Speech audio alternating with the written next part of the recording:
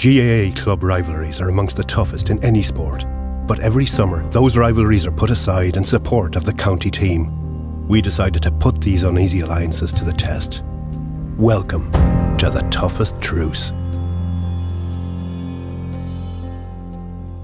Parnells now wouldn't be the most popular club in Dublin, and people think we're up here that we're full of ourselves. The amount of mercenaries they have, they uh, they just pay players to come down and they give them the sun, moon, and stars. They're just running the mill club, no, no ambition.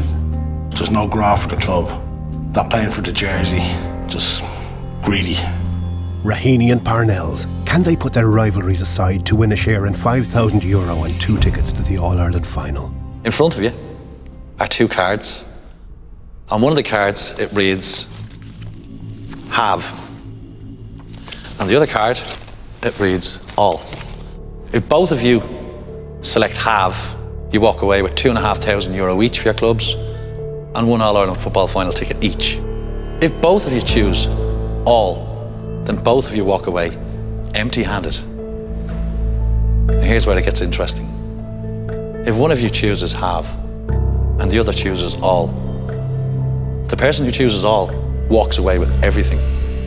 I want you each to make a pitch what's going on in your minds right now. Danny, Two and a half grand will all go to the juveniles. you'd rather have half. Half, two, two and a half grand in, in the club will go a mile. So you're looking at the bigger picture. Yeah. All right.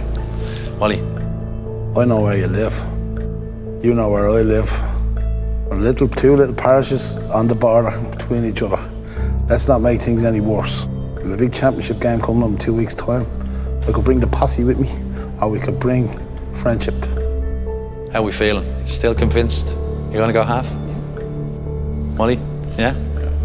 All right then. Three, two, one, reveal.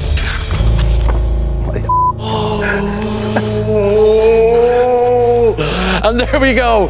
The Parnells man has chosen it all. Absolutely gutted. I was trying not to show me hand, but I was convinced he was going to just half it. But in fairness to the little hobbit, uh, I'll see him again. And now you've got a pair of tickets to the All Ireland final. Who are you going to bring? A bodyguard.